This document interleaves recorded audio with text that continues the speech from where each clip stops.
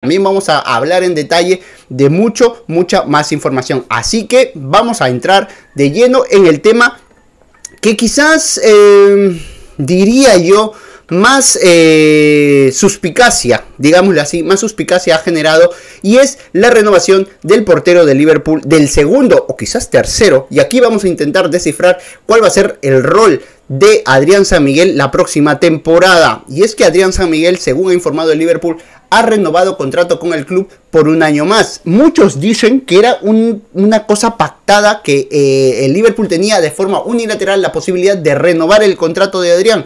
Sin embargo, ha habido negociación. De hecho, Adrián ha incrementado su salario de 30.000 libras semanales a 50.000 libras semanales y la renovación ha sido únicamente por un año. A final de esa temporada pueden volver a hablar, pero seguramente no habrá nueva renovación. Así que este sería el último contrato de Adrián con el Liverpool. También hay un dato importante, el Liverpool es el único club en el que ha jugado Adrián San Miguel, el cual le ha ofrecido una renovación al final de su estancia en el club. Cosa sospechosa. Mm, podría verse con, como que Adrián a los, sus últimos años no suele rendir lo que, lo que se espera de él y por eso no se le renueva porque tampoco se le vende, eso hay que decirlo. Eh, ha llegado a casi todos sus clubes libre, sin contratos, sin pagar ficha, así que eso también tiene mucho que ver. Eh, pero vamos a analizar cuál podría ser el rol de Adrián San Miguel en el nuevo Liverpool, en el Liverpool de la temporada 2021-2022, teniendo en consideración que la primera opción y la mejor opción, y además a quien también se le piensa renovar una vez que termine la Copa América, es Alison Baker, el jugador brasileño que a día de hoy está jugando la Copa América con Brasil. Evidentemente siempre va a ser la primera opción es el primer jugador a ocupar esa posición y si no se lesiona, como fue en su primera temporada, porque mucha gente dice, Allison desde que llegó se ha lesionado. No, no es así. La primera temporada Allison jugó los 38 partidos de Premier League, toditos, sin perderse uno. Y además también atajó toda la temporada en Champions League hasta la final que perdimos, que, perdón, que ganamos eh, en Madrid. Así que Allison, si no se lesiona, será titular. Pero si se lesiona, o si es expulsado, o si tiene algún tipo de problema físico, o yo qué sé, o coge COVID, entonces Adrián San Miguel sería esa segunda opción. Muchos dicen que sí.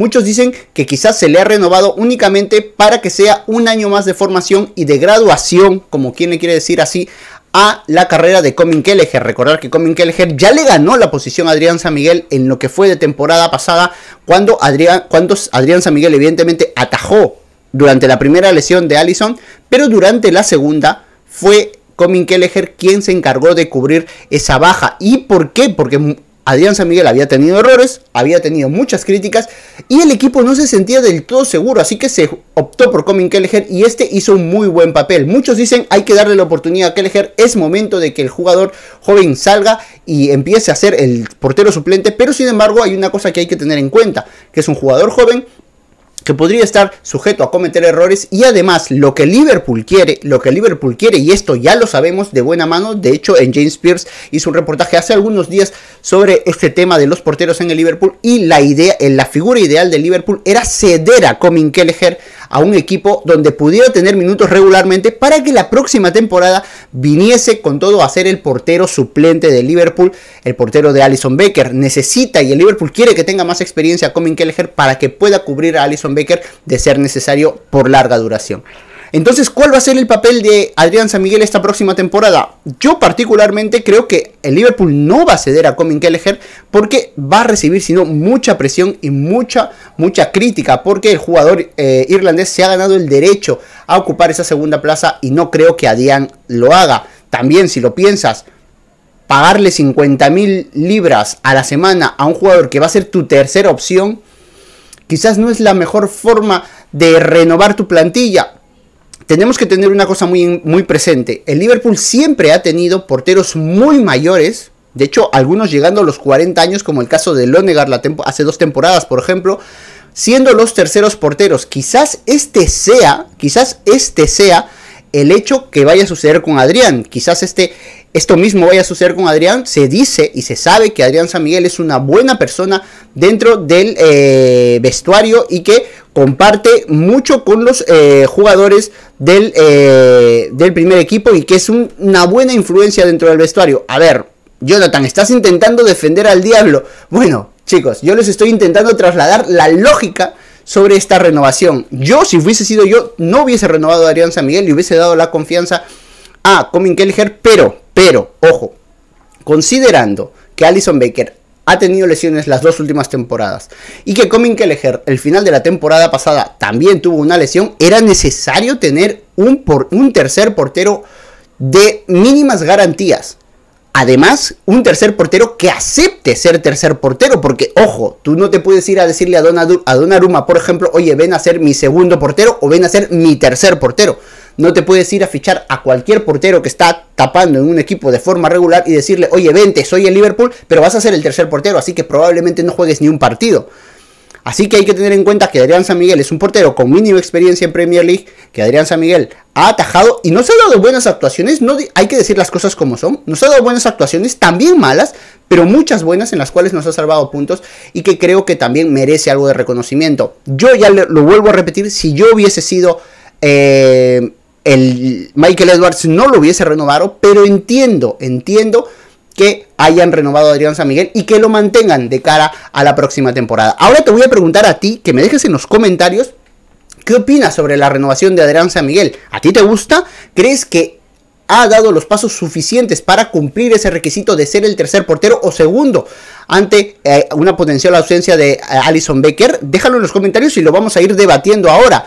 También, y les quiero remarcar una cosa, el error del Liverpool podría estar en el hecho de que dejen salir a Comin Kelleher. Quedarte con Adrián ya está demostrado que no siempre te va a traer buenos resultados, así que mejor quedarse con Kelleher, que Adrián sea el tercer portero, que aporte lo que aporta al equipo, porque si se ha quedado y Klopp ha aceptado que se quede, evidentemente es porque algo aporta al equipo, sea buen humor, sea compañerismo, sea enseñanza, sea experiencia, algo tiene que aportar al grupo. Si es así, entonces que se quede, pero que definitivamente no dejen salir a Comin Kelleher, que desde mi punto de vista tiene ya madera de ser el segundo portero de Liverpool y el Liverpool debería empezar a apostar por este portero. Así que voy a empezar a leer vuestros comentarios y vamos a ir hablando de la situación de Adrián San Miguel. Eh, nos dice Francis Pajuelo, un saludo desde Perú, un saludo Francis, un saludo también eh, aquí dice que hay un debate sobre la adaptación, rendimiento, economía y el respecto del sustituto de, de. Ahora vamos a hablar del tema de Wijnaldum porque también vamos a hablar de dos jugadores en el medio campo que han sonado mucho y que están sonando mucho. No va a pasar nada hasta final de la Euro, pero tenemos que hablar de ellos porque evidentemente están sonando y pueden llegar a Liverpool. Un saludo para Crazy Daisy. Eh, Jesús Rodrigo Caracela nos dice... Los he visto y me gustan ambos. Vale, estamos hablando del tema Tielemans. Ahora estamos hablando del tema de Adrián, ¿vale? Así que voy a omitir los eh, comentarios de los mediocampistas y luego volveré a ellos. Eh, nos dicen eh, que Adrián sea el cuarto portero. Bueno, yo creo que va a ser tercero. A ver, si, haces cuentas, siendo tercer portero, por ejemplo, el caso de Lonegar, el, el portero suplente que teníamos hace dos temporadas, Lonegar no jugó ni un partido, nunca. Nunca. estaba ahí porque, porque había que tener un tercer portero por si acaso. Pero no jugó nunca. Bueno, salvo algún amistoso. Pero no jugó. Así que es muy probable que, le, que eso vaya a ser lo que le pase a Adrián San Miguel. Claro, tú te pones a pensar, si esto le puede pasar a un jugador, cualquier jugador no te va a venir a ser suplente de dos porteros experimentados y que seguramente no vayas a jugar nada, salvo que ya estés retirado, desahuciado. Miren lo que le pasa a Carson, por ejemplo, el Manchester City, que creo que sí que tajó un partido o algo así, pero, pero es la tendencia de los terceros porteros. Si todo va bien, no suelen jugar ni un partido durante la temporada. Eh, nos dice David eh, Alejandro Paucar. Bueno, ya que se fichó Adrián, pues Kelleher será el segundo portero. Yo creo que sí, yo creo que Kelleher va, va, a pasar a ser el segundo portero y que Adrián San Miguel va a quedar rezagado al tercer portero durante una temporada. Y a partir de ahí ya Liverpool va a darle confianza a Kelleher y seguramente a Marcelo Pitaluga también. Eh, ¿Y qué fue de Carius? Creo que, creo que vuelve a Liverpool porque no ha encontrado equipo. Carius terminó su sesión ya con el, eh, con el Berlín, con el Unión Berlín, eh, donde solo tapó tres partidos la temporada pasada. Va a volver a Liverpool en su último año de contrato. El Liverpool le va a buscar salida con toda seguridad, porque si no hubiese renovado Adrián, seguramente habrían habido algunos debates, pero al haber renovado ya ha cerrado la puerta completamente el Liverpool para la vuelta de Loris Carius. Eh, Jesús nos dice, exacto, yo creo que Liverpool aprendió de los errores de los centrales y quiso asegurar a Adrián, si por las lesiones de Allison y Kelleher, lo cual podría dar sería súper mala suerte que se pueda dar. Yo creo que también, yo creo que Liverpool se aseguró, dijo, voy a tener un portero de medianas garantías, porque a ver, no vamos a decir que Adrián es una coladora, es un partido, es un portero que tiene errores, pero que da garantías en muchos partidos. Yo creo que se ha querido asegurar de tenerlo, más tener también a Alison Becker y evidentemente, creo yo, a Kelleher. Si sale Kelleher, entonces sí que nos vamos a enfadar mucho porque ese sí que sería un craso error, sabiendo sobre todo que Alison puede tener una lesión en cualquier momento.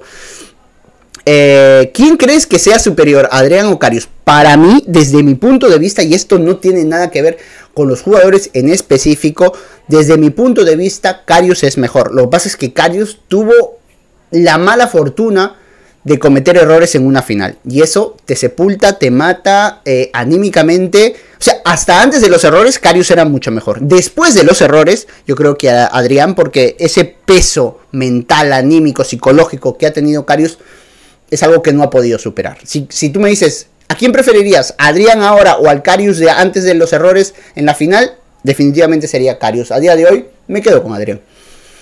Eh no estoy de acuerdo en que le suban el sueldo a Jesús Rodrigo Carcela. Tienes que pensar, Jesús, de que cuando tú renuevas un contrato tienden a ser mejores condiciones, ¿no? Yo creo que Liverpool aquí tenía una posición de debilidad respecto a Adrián porque Adrián se podía ir libre a cualquier otro equipo y en cambio Liverpool necesitaba tener ese tercer portero del que hemos hablado y yo creo que parte de la condición de Adrián para quedarse era que mejorar su salario y con que es una sola temporada a mí no me parece tan mal. Eh, evidentemente no es lo ideal, no es lo ideal, pero no me parece tan mal porque si te sales al mercado a buscar un tercer portero que ya esté incluido en el grupo, que ya sepa, que ya aporte lo que aporta Adrián, es muy complicado. Es muy complicado. No estoy queriendo defender, ni, y ya les he dicho, si hubiese sido yo no lo hubiese renovado, pero entiendo la posición y el hecho de que Liverpool lo haya renovado.